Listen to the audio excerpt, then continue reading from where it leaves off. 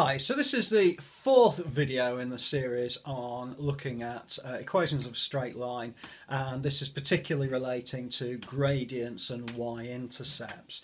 Okay, so what we're going to do here is look at a specific exam question and this particular one only gives you a little bit of information. What it says is the equation of a line passes through two points. One of those points is 0, 17, and the other point is 3, 5.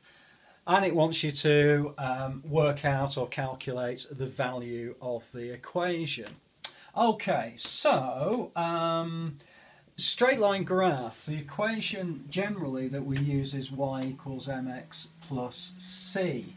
So the two things that we need to find out is m, which is the value of the gradient. Okay, it's this one. And the bit that we use for that, or the, the formula that we use, is difference in y divided by difference in X. And if you have a look at some of the other videos in the playlist, there's a few examples on how to use that. Um, the other thing that we need to know in order to answer the question is this value of C, which is called the y-intercept.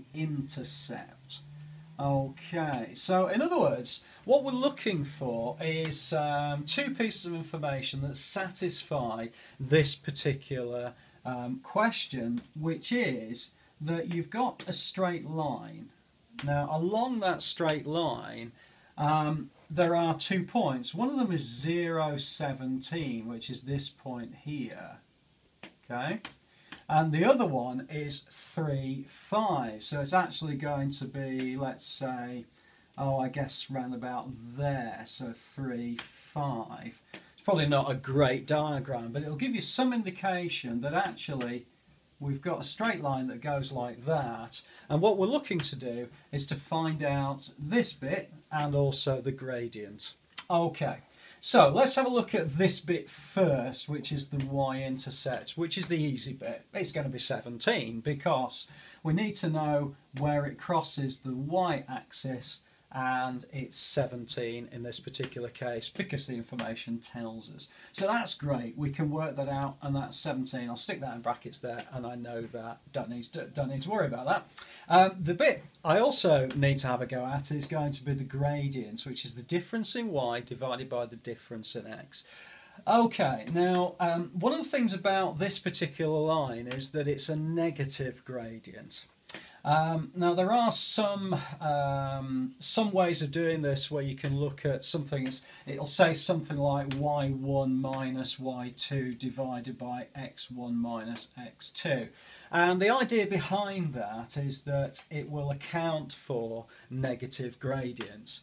Uh, for me personally, I much prefer just to draw a quick sketch and then I know it's a negative gradient um, if it went the other way, it would be a positive gradient because it's shaped like a little tick. And if you have a look at some of the previous videos, particularly uh, video 1 and video 2, and I'll put a link through to them uh, on this video, um, you can go through and you can see my reasoning behind all of that. I don't tend to worry about any of that, not at this particular level, because it's fairly straightforward, I think, to work out the differences of y's and x's. So let's have a look at the difference in y. Well, at the moment, this is um, the difference in x is, um, or the, the x coordinate is 0, the y coordinate is 17.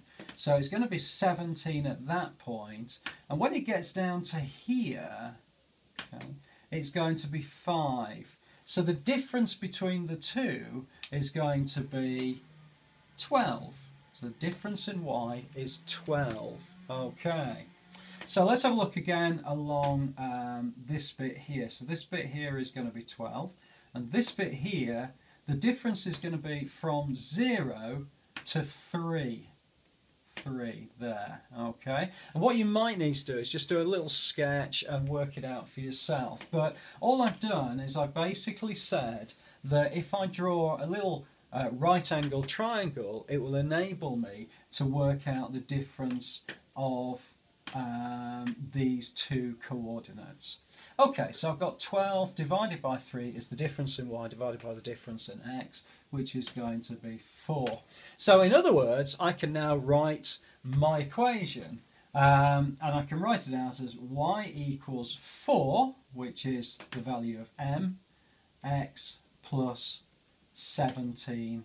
And that would actually answer the question. So, a couple of things you need to remember. The first thing is draw yourself a quick sketch so you can see what's happening. Okay, also um, work out whether it's a negative gradient or a positive gradient if that's the way you want to do it. You can do it that way if you prefer, I've no issue, whichever suits you. And actually, in some respects, this is a very good way for higher level when you get involved in A level and differentiation and integration, all that sort of stuff. At the higher level, you need to know all of that.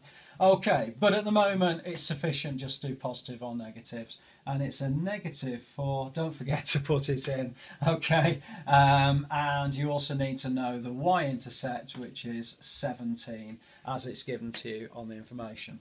It's not always given to you, and if you look at the previous video, that will show you how to manipulate this equation to work out the value of C.